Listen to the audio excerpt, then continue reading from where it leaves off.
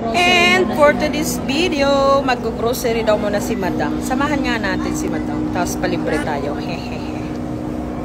Ayan. Ano siya? Sige, pili. At yun na nga. Naging alalay tayo dyan ni Madam. Ma- Ako mas gusto ko yung ano, yung chicken hotdog. Mag-grocery Yan, si Yaya. Tsura ni Yaya, oh. Gutom na si Yaya dyan.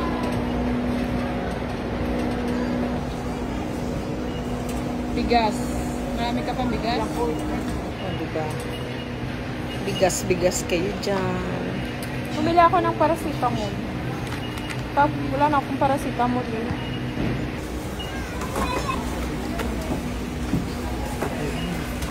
Ayun. At magka May card card ka? Mag-ano na tayo dyan. Wala. Magbayad na. Ito At nga pala ang aking favorite na kape na Vietnamese coffee. Diyan ko lang makikita pala yan sa Robinson.